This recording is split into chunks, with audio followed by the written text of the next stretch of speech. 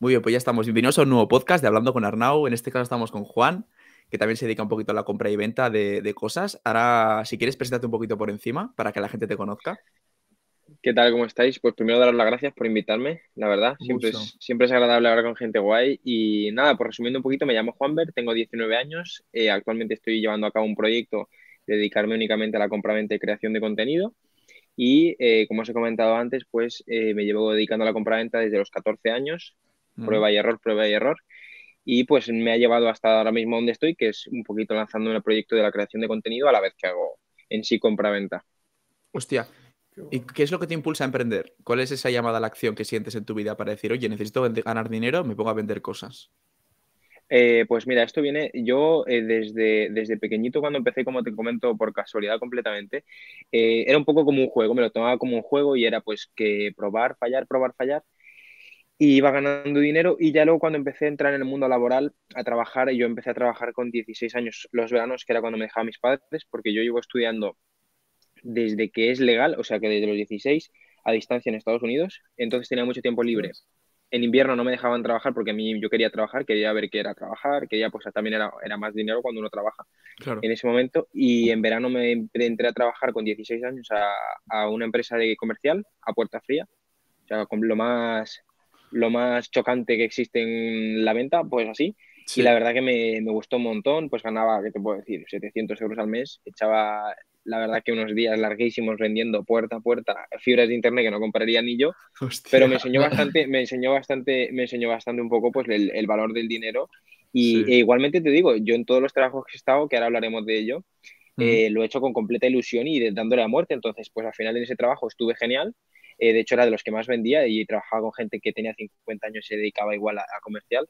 Y cuando me tuve que ir en septiembre por tener que volver a estudiar, pues fue, fue una pena muy grande para la gente de la empresa porque se estaban dando las cosas muy bien. Pero bueno, fue un momento de crecimiento y aprendizaje y de hecho de ahí viene un poquito la, la eh, podemos decir, el ansia o la ambición que tengo ahora mismo, que es que después de pasar bastante tiempo trabajando, mm. em, pues yo ya me notaba adormilado, porque cuando uno tiene una nómina a fin de mes, cosa que respeto al máximo, uno está tranquilo. Pues bueno, pues hoy, no tengo muchas ganas de trabajar a tope, voy a trabajar cumpliendo mis responsabilidades y ya está. Si como total voy a cobrar, en cambio desde el 1 de enero, todos los días, lo que yo gane va a ser lo que yo trabaje, lo que yo aprenda va a ser lo que yo estudie lo que todos los objetivos y las cosas que me vayan a entrar va a ser por mi esfuerzo. Entonces yo, creo que lo que me llena realmente es esta sensación de constantemente adaptación, introspección, querer más, porque si no me levanto yo de la cama ahora que tengo pereza, no voy a ganar nada.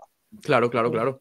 Sí, empatizo mucho contigo porque también tengo experiencia en el mundo laboral. Yo, yo trabajo desde los 17 también. Yo también he trabajado así de comisión en Seguritas Direct vendiendo alarmas y vendiendo cosas por la calle. Y la verdad es que es una experiencia bastante chula el ir a... Bueno, es bastante curioso el hecho de la venta fría al picar una puerta, que la gente no te conozca, que vea una cara y que desde el momento en el que te ve a ti, que te dice, oye, ¿quieres una alarma? Hasta el momento en el que estás en su casa instalándole la alarma o instalándole la fibra, ¿no? Este la pared. Literalmente, hay un proceso de venta el cual te da un aprendizaje que es bastante interesante y que yo veo que hay mucha similitud en el marketing digital y en muchas áreas de la venta. Que al final la venta tradicional, el tú a tú, la cara a cara, te da un aprendizaje que es es una maldita. Es brutal, es, impresionante. Sí, como te digo, yo estaba trabajando con mucha gente que ya lleva muchísimos años, a lo mejor diga, lleva 30 años dedicándose.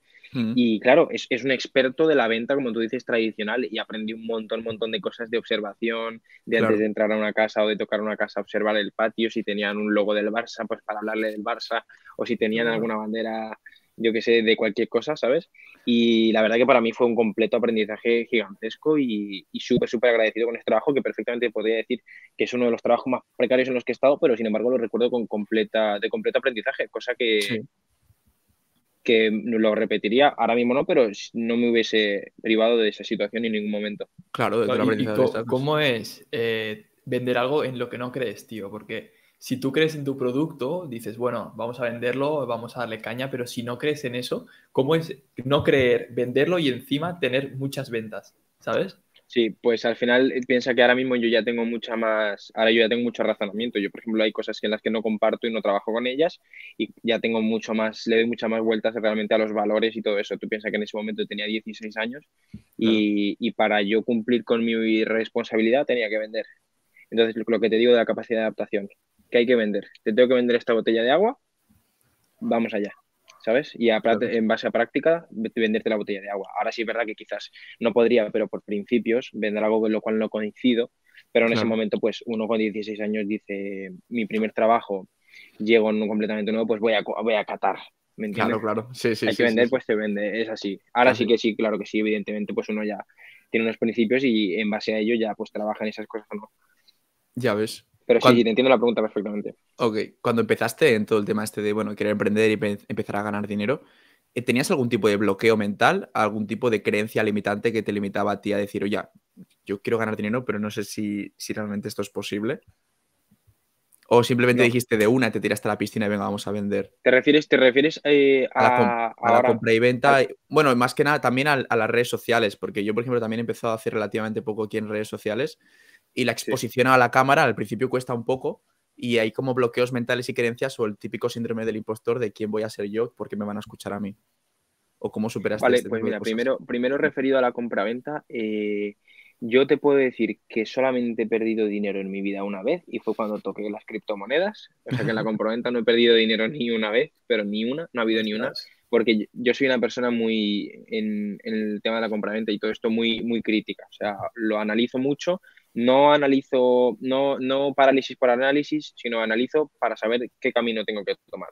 Y es ahí cuando yo ya decido tomar el bueno, normalmente por ahora ha sido siempre el bueno, y, y, no he fallado. Entonces, yo es como que poco a poco, cada trato desde los 14 años hasta ahora ha salido bien, entonces he forjado una confianza en mí mismo que yo ya siento que tengo un instinto que apenas yo siento que esto va a salir bien, vale, vamos a hacer que salga entonces perfecto y vamos a hacerlo por aquí y luego ya vamos a utilizar el, análisis para ver de qué manera hacerlo lo mejor posible. Pero yo creo que es una cosa que se fue forjando poco a poco. Salió bien por casualidad la primera vez, la segunda lo, lo confirmas, la tercera lo confirmas y vas creando en sí una confianza en la cual pues a, día de hoy ya pues sabes identificar distintas oportunidades, sabes, pues sabes, iba a perdonarme por esto. Eh, sabes, pues un poquito eso. Escucha, lo voy a quitar el, ruido porque si no. Ah, no te preocupes. Ahí está. Perfecto. Es que estaba esperando justo un documento que necesitaba para traer una cosa en aduanas y lo estaba esperando ansioso, así que si me lo han mandado, perfecto. ¿Sabes cuánto, cuánto hype? ¿Se puede decir de qué se trata o no? sí, de, ropa, ropa por kilos. Hostia, ah, estoy comprando ahora. El otro día hablamos con, Juan, con Juan Toy, y él se dedica a vender iPhones y tal. ¿Tú tienes algún producto en específico que te hayas especializado? Pues mira, es súper curioso porque ahora estamos creando un grupete súper chulo. Eh, Juan, otro chaval que se llama Víctor, que vende en Vinted y es un monstruo completamente. Entonces Juan es como que es un poquito más la parte de los móviles y demás. Víctor es como un poquito de la ropa. Y luego creo que estoy yo, que es yo le doy a todo hay dinero ahí, voy para allá, hay dinero ahí, voy para allá, y hay dinero en los dos lados, voy con un brazo en cada lado, ¿sabes? Y eso mola un montón, porque yo, por ejemplo, soy mucho más de lo que hace Víctor, lo llevo haciendo, un montón, los móviles y todo esto, o lo de mm. Víctor, lo de Juan, perdón, mm. y, y, cuando conocí a Víctor también vi un poquito por ese nicho, entonces dije, vale, sin quitarle a Víctor lo suyo, voy a meterme yo también por ese lado y rascar, ya te estoy diciendo, estoy esperando dar unos documentos para pasar las semanas con la ropa. Entonces yo, yo, yo no soy de nada, o sea, hoy he comprado un reloj para revenderlo, ni digital ni nada, en reloj tradicional, y a lo mejor en enero estaba comprando una moto para venderla. Entonces es completamente versátil. Ya ¿Y qué es lo más, lo más difícil que enfrentaste al principio cuando empezaste en todo esto? Eh, probablemente ganarme la confianza de mis padres. Al principio, principio, cuando tenía 14, entre los 14 y 15, lo más difícil era eso porque eh, ellos estaban un poco preocupados porque mm, yo creo que me veían muy lanzado, ¿vale? Y yo es que creo que iba muy lanzado a todo y, pues estaban preocupados evidentemente, pero ya hubo un momento en el que ya después de muchos casos que salieron bien, pues ya tengo completa confianza en ellos, tanto así como para decirle, oye, me quiero tomar un año para dedicarme el 100% a la compraventa y a, y a crear contenido. Y hasta ahora sí así, pero yo creo que lo que más me ha costado es eso, porque eh, ni me ha costado, por ejemplo, el que dirán en la compraventa tampoco tiene mucha cosa, porque simplemente no lo hablas con la gente que no te interesa hablarlo y ya está. Eh, no estoy haciendo nada, nada malo, nada ilegal y es una cosa que encima me gusta todo bien. Entonces, el único así pero que tuve fue un poco mis padres, que al principio no les molaba y había momentos en los que yo lo notaba y decía, y hubo una vez a mi padre que le dije, estábamos hablando de la cocina y me dijeron que están muy preocupados y tal, y yo me lo tomé muy a la defensiva y le dije, vale, pues sabes qué, mira, dejo de hacerlo. Y ahí mi padre me dijo, no, oye, eh, simplemente, em, si te está dando dinero, lo que te digo es que lo hagas de manera ordenada. Pues supongo que tú acabaste el bachillerato o algún ciclo medio y fue en ese momento, que ahora tienes 19 años, en el que dijiste, vale, va, dejo estudios tradicionales y me dedico a la compra-venta, ¿no? ¿Fue ese momento transicional para tus padres? O... No, no, más que nada, mira, yo, yo hasta cuarto de la ESO he estudiado aquí en España en un instituto. Ah, claro, es verdad. hasta cuarto de la ESO. En cuarto de la Mm. ESO, eh, mi madre ya ve que el niño está aprobando todo, pero copiándose y no va a aprender nada, vamos a sacarlo y vamos a buscar otra cosa. Entonces, desde ahí empecé a estudiar a distancia en Estados Unidos Es verdad. y lo hice, mm, y lo hice, lo- allí lo que pasa es que tienen como, eh, no tienen bachillerato y separado la ESO, sino que es high school, que lo Mm. engloba todo. Entonces lo tuve que hacer entero otra vez, que era como si empe- empezase de, de tercero a segundo. Por eso voy a acabar este año. O sea, este es mi último año. Ahora mismo estoy en vale, segundo vale. de bachiller, lo que sería aquí en España. Y, y lo bueno es que sí es verdad que eso es lo que me dio a mí el tiempo de salirme un poquito de todo ambiente tóxico que hay en los institutos. Yo ahora tengo un hermano pequeño que tiene 12 años Mm. y yo entran al instituto y tú lo ves como los chavales ahí ya empiezan otra vez a empiezan a, a sentirse que tienen que encajar, tienes que Mm. aparentar, tienes que tonterías que pues uno al estar en ese tipo de círculos es cuando coge esas cosas negativas. Entonces yo creo que eso fue lo que hizo que desde cuarto de la ESO hasta ahora que han pasado tres años, creo que ahora es el cuarto, eh, yo siempre he estado en mi casa, libros, amigos los veía los fines de semana y demás, pero entre semana yo estaba muy en mi mundo. Y Mm. como por suerte tengo unos padres que siem- siempre me han animado y me han dicho que me han llegado a decir, oye, no pienses tan en pequeño, sino piensa más en grande, Claro. nunca he sentido esas limitaciones. Por eso cuando me decidí a crear contenido, no me daba ningún tipo de vergüenza. Dije, Claro, y que el contenido veo es algo Mm. súper escalable y que al final es, es algo que Uh, sí, puedes sí, sí. llegar a, a ganar lo que te dé la gana, diciendo lo que tú quieras, obviamente pidiendo un buen producto, un buen servicio y no, ¿sabes? sí, que es, es 100% lo más es- es importante. sí. Ser transparente, crear comunidad, pero las comunidades es, buah, es lo mejor, tío. Es lo mejor. Yo me estoy dando cuenta ahora, sinceramente. De hecho, hoy me ha pasado por primera vez. Yo, a ver, yo no considero que me, no me sigue mucha gente, Mm. pero, pero lo- sobre todo yo creo que la gente que, que me sigue eh, por el tema de la compraventa lo nota, que yo lo hago, todo siempre lo digo, que lo hago con intención de aportar un valor. Mm. Y eh, hoy estaba por aquí, por el centro de Valencia, después de comprar el reloj, y veo que un chico se me queda mirando, pero en plan, el chico no daba buena espina, en plan, parecía que era mala. Y yo en plan, me pongo a mirarlo, eh, mirarlo, mirarlo, mirarlo, y me sigo acercando y nos seguimos mirando, y yo en plan ahí, full macho alfa mirando, y me dice, ah, tío, te dije que te la compraventa tal, y digo, sí, y dice, ah, es que te sigo, y yo, ah, vale, tío, perdón, es que me estaba rayando. que te meto. ¿Qué miras? No, no, pero que, digo, no entendía, no entendía nada, Claro, literal. claro, claro. Hostia, qué locura, Y- tío. eh, Sí, me ha pasado, la primera vez que me ha pasado ahí, literal. Sí, sí, sí. Joder, qué bueno. Pero muy guay, muy guay. La gente es súper bien y sobre todo que lo que dices Mm. tú, el crear una comunidad, pero sobre todo crearla desde la transparencia está muy bien. Y yo por eso, al principio, al empezar en enero, eh, me propuse que la mejor idea para yo sustentar, aparte de que yo ya sé que todo lo que hablo lo digo con una experiencia y un conocimiento. Sustentarlo en algo que la gente lo pueda consumir. Y por eso empecé un reto en YouTube que estoy haciendo de 0 a 10 mil euros. Y, Hostia, qué bueno los y la retos. gente, o sea, la gente, la gente puede ver ahí. Mira, yo calculo que conseguiremos el reto en por junio, más o menos, ¿vale? Pero Mm. es que yo cuando en junio lo consiga, teniendo en cuenta que documento todo, pongo conversaciones, transferencias, o sea, absolutamente todo para que la gente lo vea, yo me voy a poder coger en junio y a mí no me va a poder rebatir nadie. El que quiere hacer dinero lo hace, porque en enero te demostré que con cero puedes convertir en esto. Entonces Ya eso ya rompe con cualquier tipo de... Me puedan decir, no, pero es que si yo vivo en un pueblo, si tengo esta situación o historias, entonces Claro. creo que está bien porque yo ahora mismo las redes sociales no me dan un dinero para yo poder cubrir mis gastos, Mm. la compraventa la tengo que hacer igual, pues Mm. ya está. Como tengo que hacerlo igual, lo junto como, lo voy documentando y ya está. Y voy Exactamente. creando una comunidad en torno a eso. Creas el storytelling Esa para que la gente idea. se enganche a tu historia, te figuras como una figura de autoridad y luego ya hasta el infinito, ¿sabes? Que es más o menos Sí, lo sí, sí, yo, yo creo que va bien, sí. Poquito a poco, sí, es, es tal cual. Hostia, ¿cómo es un día a día de tu vida? Más o menos. Pues, pues ahora mismo es maravilloso, sinceramente. O sea, es, maravilloso porque eh, me levanto y es lo que te estaba diciendo, es la constante sensación de decir, todo lo que hagas, o sea, todo lo que tú quieras, va a llegar si lo haces. O sea, si esta mañana te levantas y piensas más, analizas más, buscas más oportunidades, hablas con más gente. Ahora mismo un día, eh, un, un poco en mi día a día es un poco volver al orden, porque en enero fue bastante caos. Yo soy, yo soy de Albacete y en Madrid me fui, me fui a Madrid 20 días en enero a conocer full gente y conocí gente fantástica, pero espectacular, entre, entre otros Juan. Mm. Y, y fue un poquito caos. Luego fue volverme aquí a, a mi ciudad, o sea, Albacete. Y febrero ha sido un poco un mes de centrarse otra vez, de ponerse a tope. Eh, yo soy una persona muy inquieta, una persona que tiene muchísima, muchísima impulsividad por un millón de cosas, entonces a la mínima me distraigo me pongo a hacer una cosa, otra, otra, otra, todo referido a, a este tema.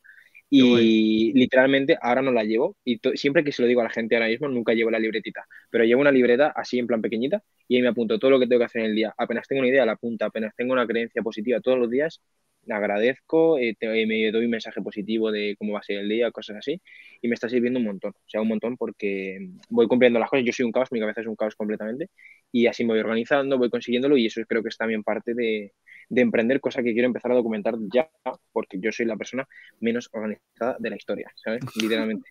Hostia, qué bueno, me, encanta que... Me encanta que digas que, vas apuntando todo lo que se te ocurre, porque me acuerdo yo que hace, hace más o menos cuatro años o cinco que yo estaba haciendo, estudiaba un grado medio de agricultura ecológica, o sea, de los animales y las plantas y todo eso, y hubo un momento en el que me pasaba que se me iba a la cabeza de decir, hostia, se me ocurren mil ideas, pero luego cuando llego a casa no, no, no me acuerdo, ¿sabes?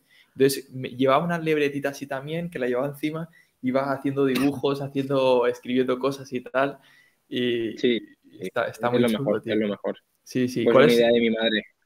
Ah, o sea, esa, esa, es idea de madre. Lo de la libreta es idea de madre. Hostia, qué bueno. ¿Y cuáles serían tus tres hábitos clave? Que digas, estos tres hábitos me, me, me encantan.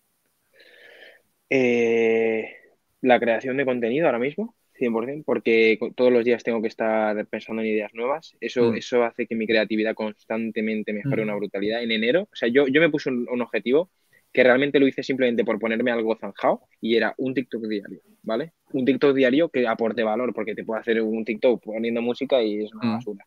Entonces, eh, un TikTok que aporte valor. Entonces, en enero me costaba una locura. Los primeros días, los primeros 10 días subía dos diarios. Ahora ojalá se hubiese subido poco a poco pero ahora ya va muchísimo mejor, sobre todo que como ahora ya estoy muy, muy metido en esto de la compra-venta y todo esto, pues puedo hacer eh, contenido. Simplemente con el día ya hay cosas interesantes. Eso uno, en la creación de contenido. Otra cosa que también me llena un montón es el, el momento de la lectura. Desde enero he vuelto a retomar la lectura y es una cosa que me conecto mucho conmigo mismo, me pregunto muchas cosas constantemente, los libros intento leerlos más de una vez, reflexionar, apuntar y demás. Y otro momento que creo que es de los que más valoro de lo que estoy haciendo ahora mismo es poder pasar tiempo con la gente a la que quiero, 100%, cosa que cuando estaba trabajando era prácticamente imposible. O sea, eso es lo que yo más disfruto ahora mismo de mi rutina. 100%. Hostia puta, tío. Coincido mucho en eso porque yo, yo empecé a hacer en redes sociales, yo tengo un, un, canal donde enseño a hacer trading, pero es lo que dices, yo también como documento mi proceso de cómo consigo una cuenta fondeada, que es como un objetivo que los, los traders ahora tienen mucho, que hay unas empresas que te dan unas cuentas y tal, y yo documento todo ese proceso en storytelling. Yo todavía no lo he conseguido, pero explico a la gente cómo lo consigo. Y al principio estaba como tú, de hostia, tengo que crear un TikTok de valor diario.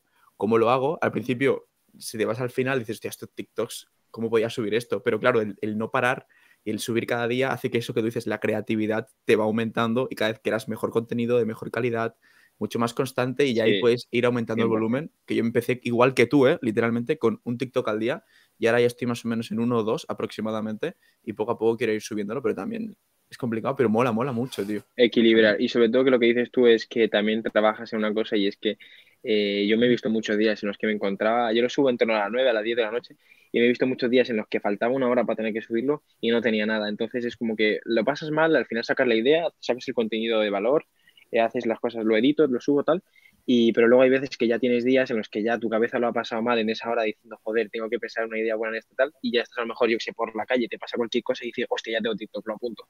La libretita de una, ¿sabes? Literalmente. La clásica libreta. Qué bueno. pasada. ¿Y dos libros que se te ocurran que recomiendes, que has dicho que te gusta leer? ¿Cuáles dirías? Pues mira, a mí uno que me ayudó mucho en un momento en el que no estaba del todo con las cosas claras, el monje que vendió su Ferrari, y ahora me estoy leyendo uno que probablemente sea de los favoritos que, que acabé teniendo, que es eh, Cómo ganar amigos e influir en la gente, creo que se llama. increíble libro. Buenísimo, buenísimo ese libro. Me lo sé los dos. Se me hace un poquito pesado, en algún, en algún, momento se me hace un poquito pesado, eh, pero me lo voy leyendo poquito a poco y voy apuntando y intento que sea lectura 100% consciente. Hmm. Pero está muy guay, la verdad, sinceramente. Es curioso porque ese libro hay países donde está vetado donde está prohibido comprarlo. Ah, Te lo juro. Del poder que tiene ese libro, porque al final hay muchas eh, técnicas de manipulación que no son de manipulación realmente, son a lo mejor de comunicación o de cómo indagar en los sentimientos de las personas o de cómo, ¿sabes? El interesarte por la gente. ¿eh? O en una que lo puedes utilizar para el bien o lo puedes utilizar para el mal. Como el libro de las 47 leyes, leyes del poder, que también es otro así muy tocho que te recomiendo si no te lo has leído, que también son como 47 leyes que la gente más rica y más poderosa del mundo sigue, pero que hay muchos países donde está prohibido porque ese poder, ese conocimiento se puede utilizar para el bien o se puede utilizar para el mal. Y lo, lo, brutal es que está ahí, o sea, el conocimiento está ahí. O sea, es que lo brutal es, lo, están en los libros, tío. Lo único que hay que hacer es coger y absorber. Y eso me parece una brutalidad, o sea, literalmente. Y fuiste a Madrid 20 días, dices, ¿no? Sí. Eh, ¿cómo, es que, o sea, me has dicho que fuiste a, conocer gente y a, abrirte, ¿no? ¿Cómo fue eso de ir a Madrid, decir, por dónde empiezo, a quién conozco, cómo, cómo lo montaste? ¿Cuál es la historia? Ahí te puedo contar que vengo un poquito con la ayuda de Juan, porque yo empecé a hablar con Juan, le ayudé en un par de cosillas de su curso y subí un par de cositas también al curso de Juan que lo sacó en diciembre. Y en enero me dijo, oye, si estás por aquí, nos vemos y te presento gente y tal. Entonces dije, oye, pues voy a ir. Mm. Eh, empecé a grabar cositas ahí y demás. Y ya cuando empecé a quedar con Juan, empecé a conocer un montón de gente. Y gente con la que, por ejemplo, me voy de viaje mañana, no, pasado mañana nos vamos a Bucarest. Y, y súper bien, la verdad. O sea, gracias a Juan me ha, me ha presentado un montón de gente súper, súper interesante. Gente que tiene unos conocimientos brutales. Gente que me ha recomendado el libro que os he dicho ahora mismo. O sea, es, es una barbaridad. Y ahí sí es cuando he roto un millón y medio de creencias de cuánto se puede llegar a ganar, de, de qué es la felicidad, qué no es la felicidad. O sea, conociendo a gente de verdad así, así cuando he dicho, vale, este es otro mundo, literalmente. Este es otro mundo, sí. Se te rompen bloqueos y creencias que tienes, porque muchas veces estamos como muy aterrizados en, en lo que te dicen tus padres o la gente que, con la que convives en el colegio, que tiene unas creencias heredadas de sus padres también. Y cuando te empiezas a juntar con gente que piensa diferente, dices, hostia, loco, esto es una locura. Es una barbaridad. te abre la mente y dices, gente que normaliza. Sí, sí, sí. Gente que normaliza ganar 10.000, 20.000 euros al mes. Es como, ya, pero es que no lo hago por el dinero, es porque lo importante es ser feliz, ¿no? Hacer lo que te gusta. Y ves esa visión y es una locura, tío. A mí es lo que me, me impulsa también a emprender. Es una, completa, es una completa locura, la verdad. Pero sobre todo te digo una cosa. Hmm. Eh, yo, yo durante. Porque Juan siempre que hablando con él, por ejemplo, me decía que él ya conocía a muchos emprendedores en su ciudad, en Zaragoza y tal. Yo en mi ciudad no conozco a nadie hmm. eh, que se dedique a cosas así o tipo emprendimiento. Y una de las cosas más flipantes es que eh, cuando yo empecé a crear contenido, lo más gracioso era que gente que no me conocía me apoyaba y, la, y supuestos amigos que yo pensaba que tenían eran los que se reían o los que hacían comentarios luego por otros grupos y tal. Y yo dije, es que ves, o sea, ahora es cuando uno se da cuenta realmente, o sea, ¿cómo puede ser? Eh, los supuestos amigos que creemos que tenemos, eh, cuando uno hace una cosa que no hace daño a nadie, que no tal, y te, te, critican y te intentan hacer sentir inferior, y la gente que no conoces te, te quiere ver mejor. Entonces, lo que a mí más me impactó de esta gente que gana realmente barbaridades de dinero es que, eh, uno, el tema de conversación en ningún momento se nombra ni cifras ni nada, sino que se abra todo de conocimiento, crecimiento personal, un montón de cosas. Y dos, eh, van a hacer todo lo que puedan porque tú estés mejor. O sea, porque tú estés mejor de lo que estás, porque tú estés bien. Cosa que con la gente que, me que a lo mejor me que yo me sentía un poquito por encima de ellos o con un poquito más de conocimiento, nunca he sentido que esa gente realmente diga, oye, quiero que tú estés bien, ¿sabes? Es como, ah, te va bien, vale. Esta gente te dice, oye, pues quiero que te vaya mejor, ¿sabes? Y es claro, que eh, llenan, llenan, llenan su satisfacción y su felicidad con el que la gente esté igual de bien que están ellos. Y eso es lo que yo dije, eso es una, eso, qué, maravilla conocer gente así.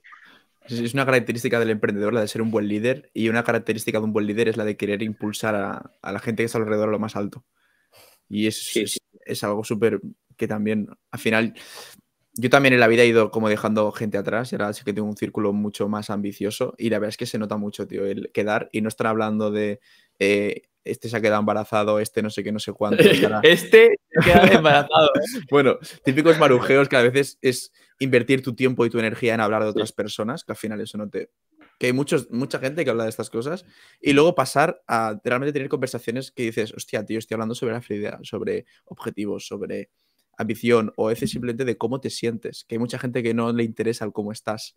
Y eso también es algo súper, súper, súper, súper top, la verdad.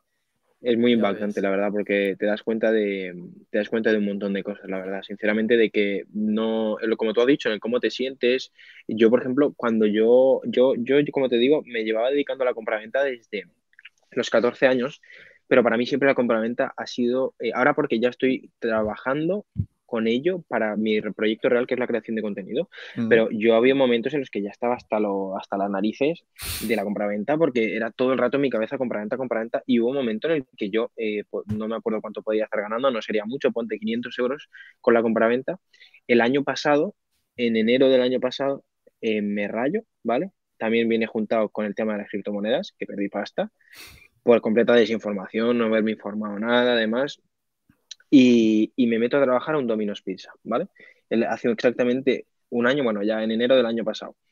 Y ahí es donde, donde veo, pues me veo trabajando a las 3 de la mañana un fin de semana lavando un lavavajillas, eh, me veo en situaciones realmente eh, que yo ahí sí ya me sentía, dije, vale, ahora ya he tocado suelo, esto es heavy, o sea, esto es heavy, o sea, ¿cómo, cómo he acabado aquí?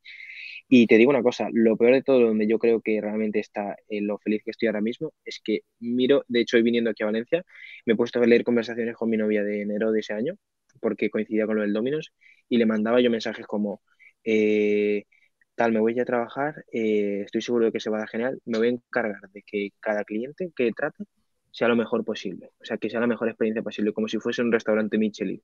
Entonces yo, yo me acuerdo perfectamente de antes de subir a un sitio con frío, congelado, hasta los huevos de las pizzas, eh, al cliente tratarlo lo mejor posible, ahora, por ser buena gente y tratarlo bien, y porque de sueldo te pagaban nada y con las propinillas algo te voy a sacar. Entonces era un, un doble este. Entonces para mí ah. era muchísimo más agradable en sí el trabajo hmm. y aguanté tres meses ahí.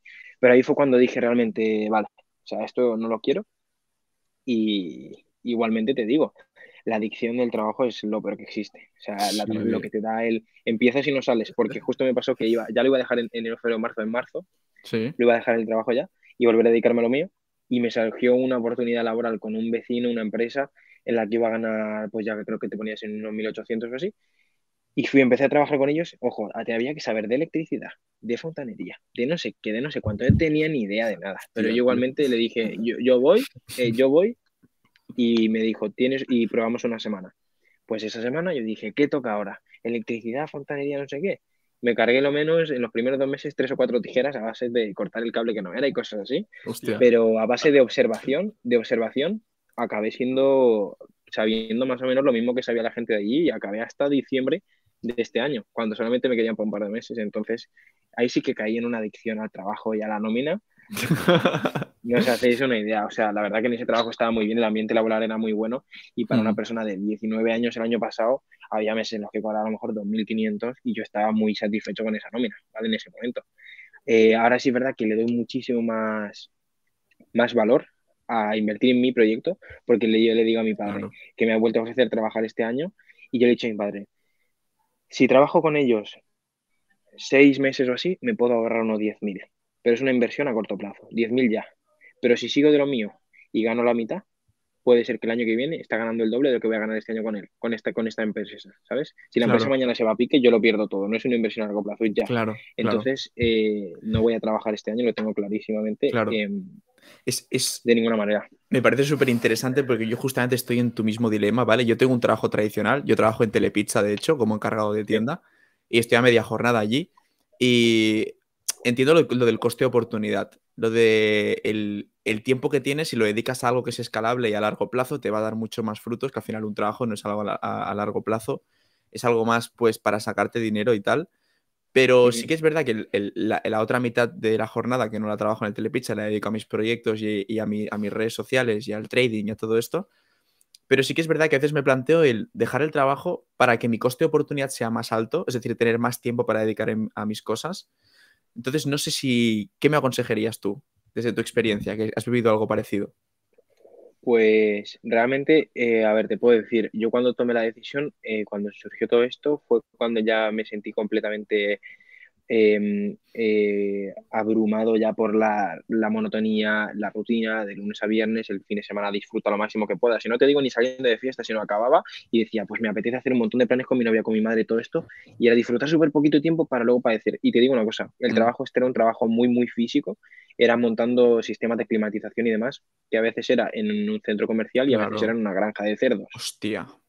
Ya, ya, ya. Vale, o sea, eh, era una cosa, o sea, yo de verdad le, le, he mandado le he mandado fotos a mi novia este, durante este año de sitios muy heavy. O sea, yo no como cerdo ya. Y no por religiones ni rollos, sino porque los he visto como viven y no, no quiero.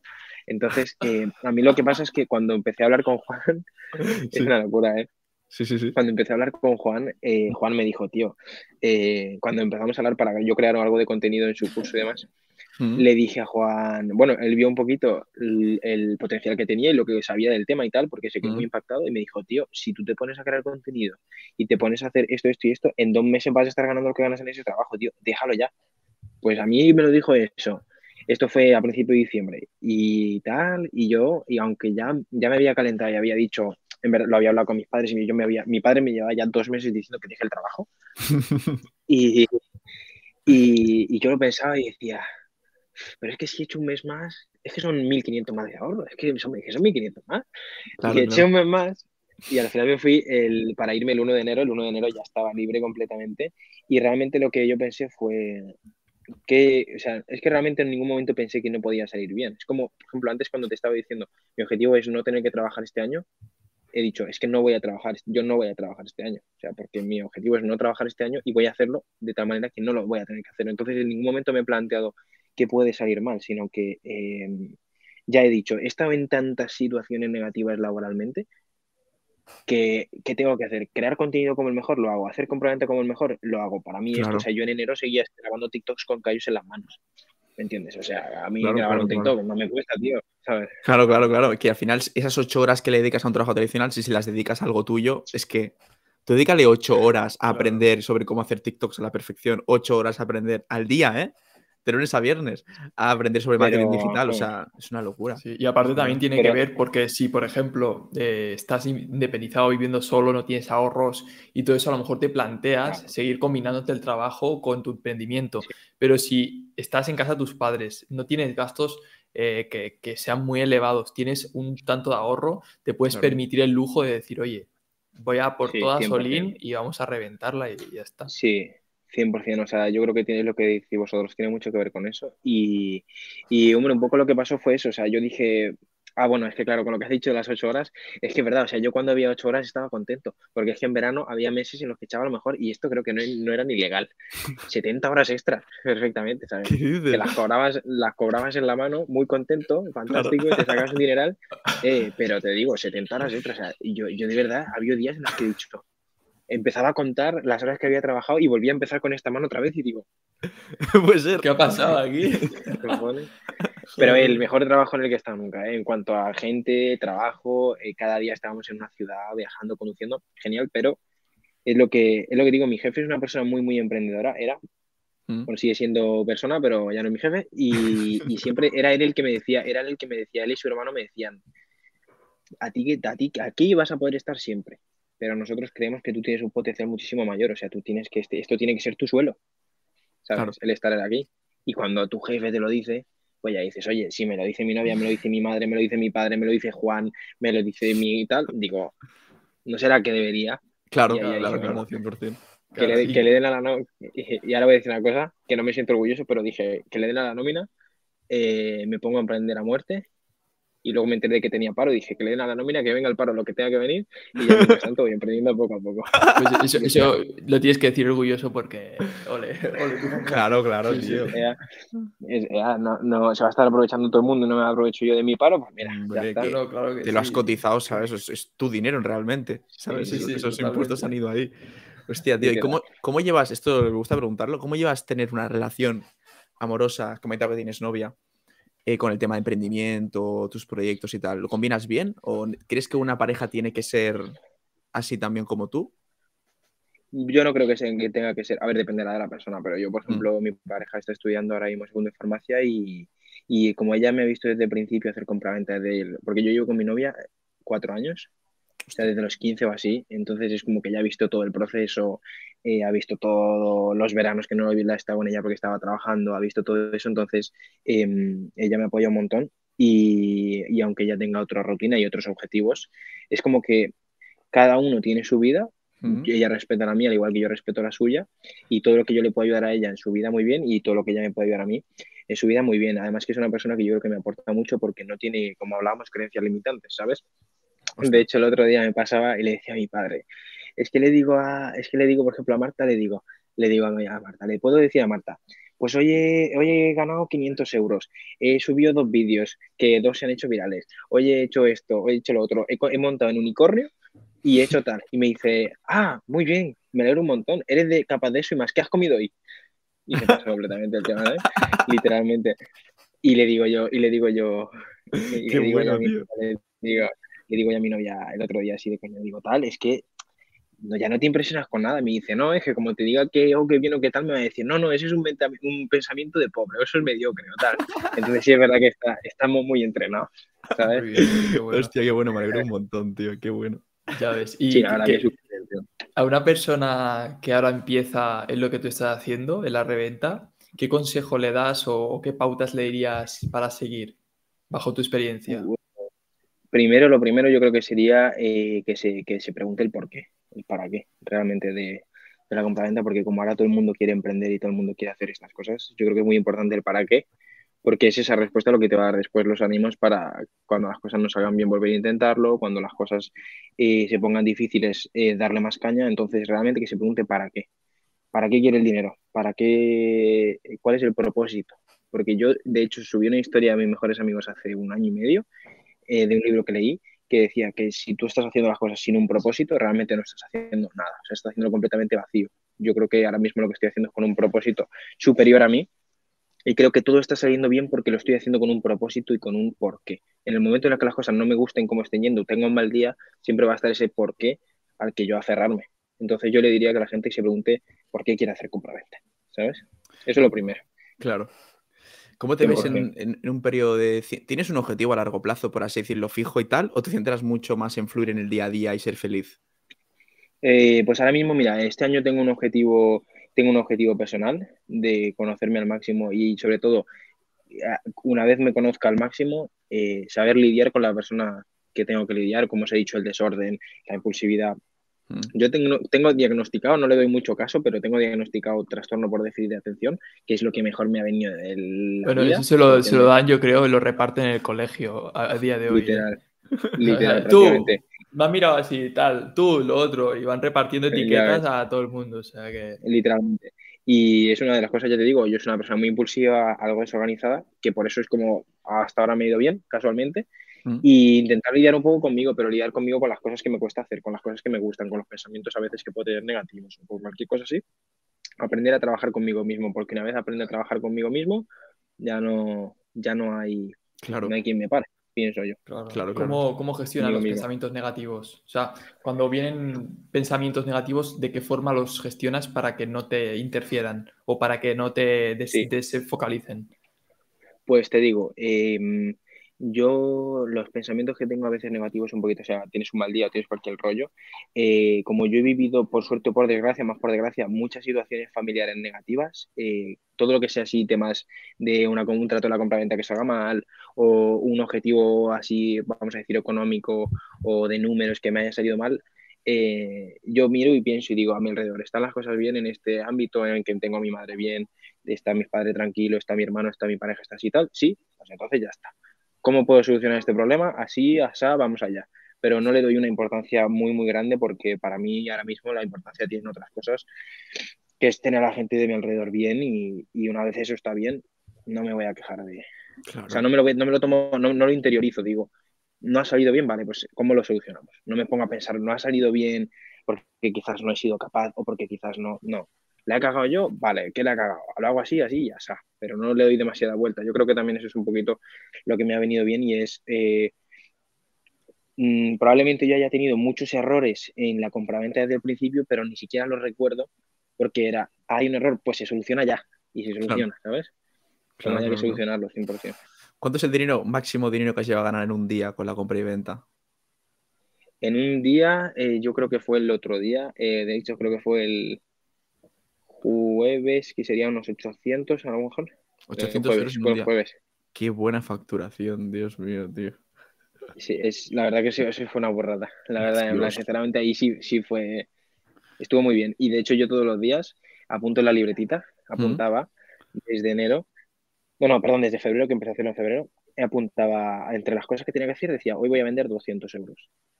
Y desde, y desde que empezaron un poquito a ir bien esa semana las cosas, dije, pues cuando ya había hecho los 203 días, dije, pues hoy, voy a vender 500.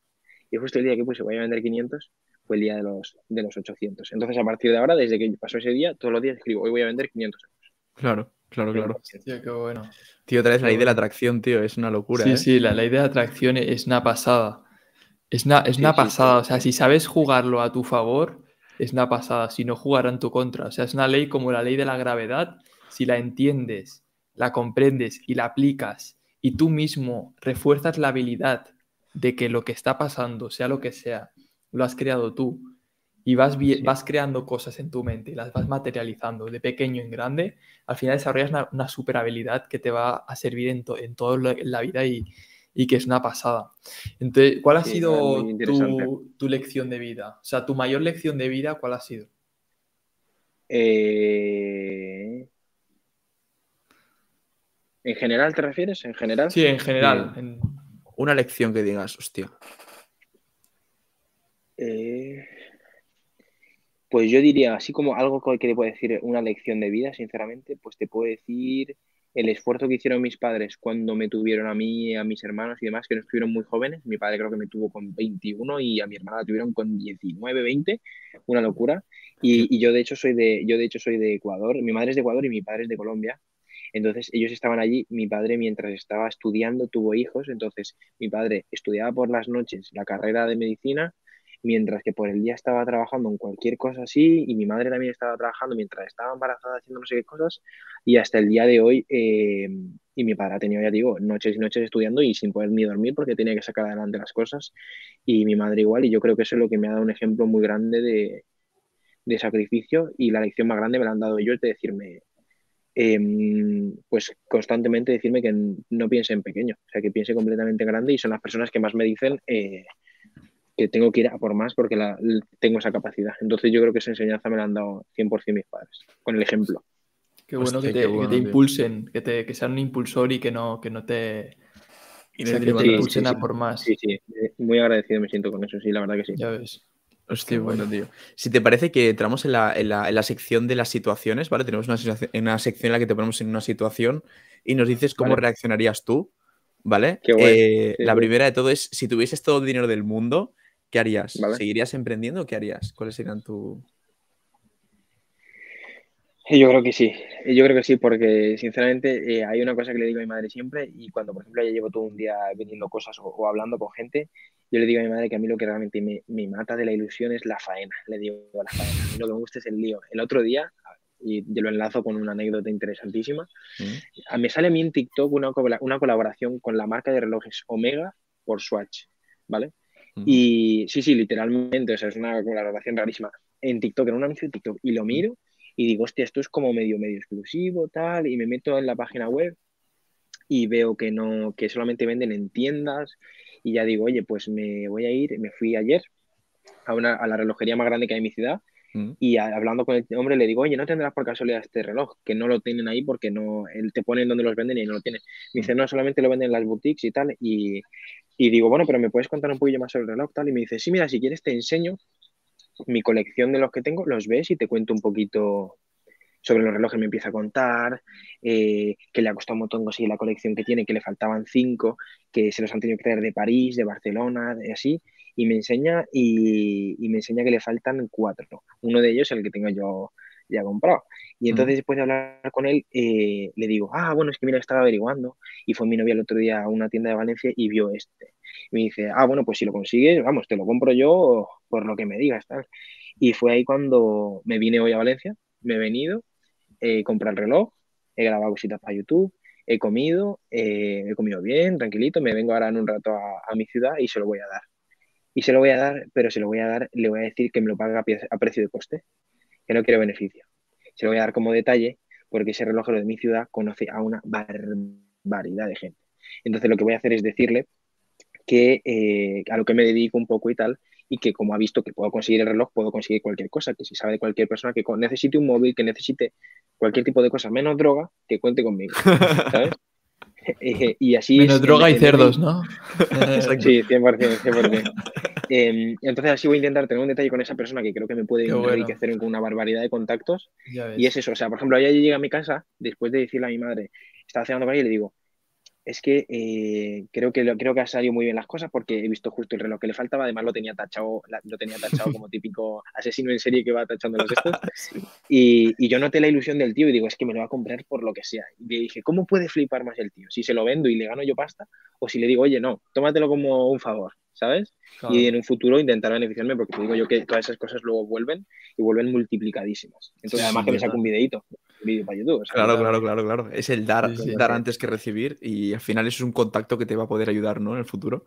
Sí, pero que, esas cosas, para que te interrumpa, es lo que te digo que es lo que a mí me gusta. O sea, no tener que te salga un TikTok y de ese TikTok salga esta experiencia. ¿Por qué? Porque vas, hablas con la gente, surge la oportunidad, observas, te adaptas. Eso es lo que a mí me mantiene alerta y es lo que me gusta. Lo bonito de la de contenido. decía que lo que dice Gran Cardón, one contact, one contract. y es verdad, o sea, un contacto, un contrato. O sea, no hay que verlo tampoco tan fríamente, pero es la verdad conocer a una persona, más allá de la amistad, pueden surgir oportunidades muy interesantes, pero no solo para la otra persona, sino para, o sea, para los dos. O sea, es un win-win totalmente. O sea, que, sí, sí, sí, sí. Qué guay. Y tema YouTube, ¿qué, ¿qué, tal, tío? O sea, no he visto ningún vídeo ni nada porque ya te digo, fue muy rápido desde que nos presentó Juan y, desde que hemos hecho el podcast. Me gustaría verlo, pero ¿qué, qué te enfocas allí o, qué haces? O... Pues estoy haciendo, mira, lo que estuve yo pensando es, a la gente ahora mismo el tema de la compraventa le, le mola, en plan, le choca bastante y es una cosa muy bien. Entonces, eh, hablando con gente que se, dedica, a esto, yo le dije, mira, a mí la compraventa me gusta, pero en sí no me acaba de llenar el hacer contenido sobre esto. Entonces ellos me dijeron que tenía que combinar lo que, lo que, lo que pide la gente, eh, lo que pide el algoritmo, enlazado con lo que me gusta a mí. Entonces yo intento meter en cada vídeo compra-venta, un poquito de crecimiento personal, intento contar un poquito a la gente que la compra-venta no es solo comprar y vender, que hay que observar, que hay que adaptarse, que hay que escuchar a la gente, etcétera. Y, intento trabajar un poquito con el algoritmo. La verdad YouTube me gusta porque es la de las pocas cosas que yo he hecho a lo largo de mi vida que en el corto plazo no he esperado un rédito económico. Yo de YouTube no he ganado un euro y le he echado horas y horas y horas y aún no lo tengo ni monetizado. Lo monetizaré creo que esta semana y es una de las cosas que me gusta mucho porque la gente agradece mucho el contenido y, te comenta cosas súper chulas, tío. Yo digo, hostia, cuando empecé a subir los vídeos, la gente comentaba, oye, pues debería subir más vídeos, que así, y te motiva y entonces ya entra ahí un poco un ciclo de que la gente te lo agradece y ya digo, no, es que yo tengo que subir vídeos el martes. No pienso, ¿cuánto voy a ganar con este vídeo? No, tengo que subir vídeo el martes. ¿Por qué? Porque la gente me lo está pidiendo, porque a la gente le hace falta el vídeo, porque la gente. Y mola un montón. Lo bonito de la comunidad es eso, tío. Que, la gente te lo pide, el, conectar con las personas, las redes sociales es lo que consiguen a día de hoy. a mí también me fascina toda esta parte de, comunidad, de, feedback constante de tu comunidad que te va hablando.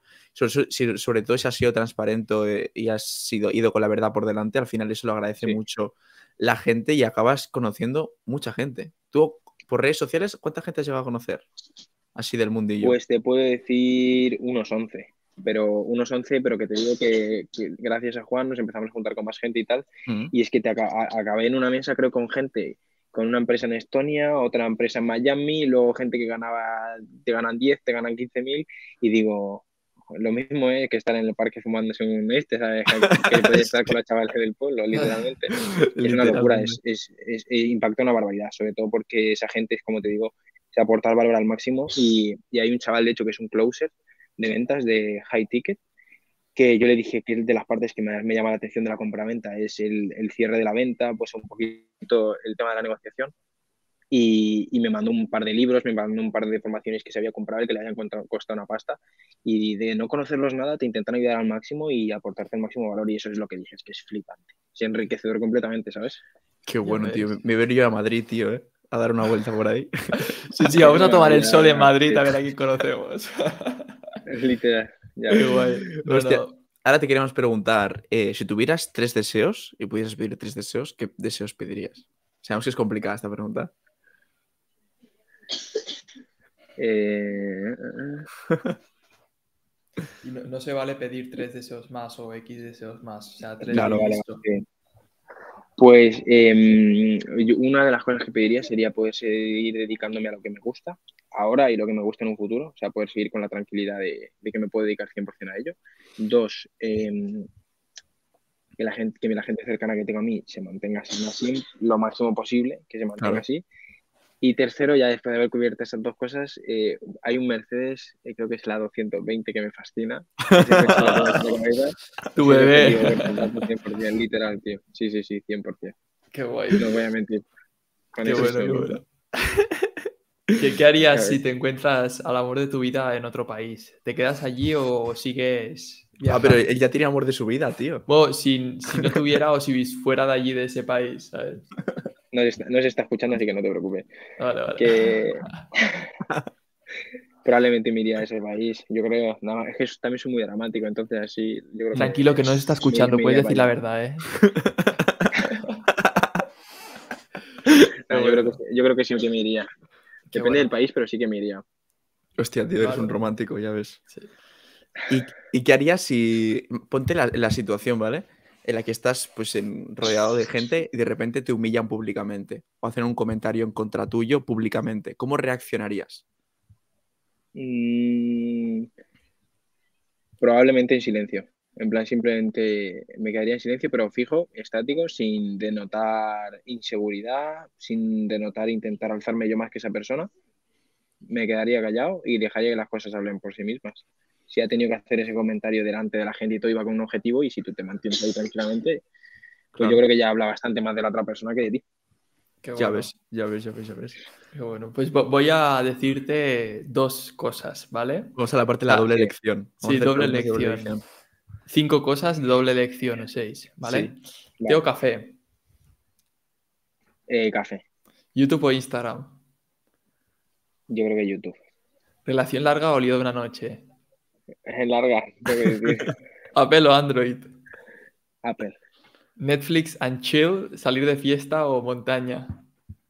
Montaña, ahora mismo yo creo que montaña. Qué bueno. Los emprendedores son montañeros. Sí, tío, eh, me gusta porque cada persona que entrevistamos nos, nos, responden cosas similares y como que intentamos sacar un poco cuál es la, el denominador común, ¿no? Que mucha gente tiene cuando emprende. Y hostia, qué chulo. Pues aquí más o menos concluiría el podcast plan, todo lo que es la pregunta, tío. ¿Qué tal, ¿Qué tal te ha parecido, tío? Si nos quieres dar un poquito de Pues, wow, me, me, ha parecido, me ha parecido súper interesante y aparte es que en otras entrevistas era un poquito más... Eh, no, no voy a decir coñazo, pero sí como que tenía que llevar yo todo el rato la conversación, entonces había momentos en los que sentía que no me callaba y entonces tal, pero me ha parecido muy interesante y sobre todo que es mucho más, se me ha hecho mucho más cercano en plan haciendo ese tipo de preguntas y tal, eh, y la verdad que me ha parecido súper guay. Pues agradezco un montón que me hayáis, que me hayáis invitado, ¿eh? Hostia, tío. Gracias a ti, tío, por venir, la verdad. Sí, gracias a ti. Y la verdad que me has transmitido muy buena energía, tío. O sea, he conectado mucho contigo por la forma de hablar, por la forma de ser y todo. Y la verdad que me encantaría conocerte un día. Bueno, nos encantaría conocerte. Sí, tío. Y un día poder quedar pues, por Madrid o donde estés. Sí, ¿De dónde sois vosotros? Yo, de Cataluña. De Barcelona, concreto, sí. Pero este verano está un montón ahí trabajando, un montón. Hostia, pues si ya sabes, si estás por aquí alguna vez, avísanos. o si vamos por allí, pues ya te avisaremos. Nos envías sí, 100%, 100%. Cualquier cosa. Ahora, ahora si quieres, ahora por WhatsApp me dices vuestras redes sociales y así o así también, y os tengo localizados. Claro, tío. Y estamos en Mira, me lo dijo Juan, me dice, estos chicos tal, que hacen preguntas muy interesantes y 100%, en plan se me ha hecho súper, súper ameno. Hostia, qué bien. Hostia, gracias. Ahora ya para terminar, la, única, la última cosa es que escojas una persona, la que tú quieras, y quedará automáticamente invitada al podcast, tal y como ha pasado contigo. Pues que puedas tú escoger a una persona. Sí, se llama Víctor. ¿Te lo digo? ¿Te lo digo ya? Sí, sí, sí, sí de una. Víctor, Víctor Pilar se llama. Víctor Pilar. Hostia, bueno, pues lo dejamos apuntado. Que sepas, Víctor, que tienes una invitación abierta a venir a este podcast. Y coméntaselo tú por privado también, si quieres. claro. Sin compromiso, obviamente. Sin compromiso, sí. No, pero va a hacer, es un tío súper enrollado, pero súper enrollado. Una locura, ya veréis. Qué guay, tío. Es, es un placer, tío. Hablar contigo. Igualmente, ¿eh? Cualquier cosa que necesitéis, contad conmigo, ¿vale? Igualmente, tío. Bueno, pues aquí acabamos el podcast. Espero que os haya gustado a todos. Que sepáis que vamos a seguir trayendo gente súper emprendedora, súper dinámica como este chico. Y nada, ya sabéis, seguiros en, todas nuestras redes sociales, tanto en TikTok como en YouTube, como en Instagram, como en Spotify, porque no vamos a parar, vamos a seguir dándolo todo hasta el final. Y nada, aquí concluimos el podcast. Saludos. Saludos. Vale, aquí esto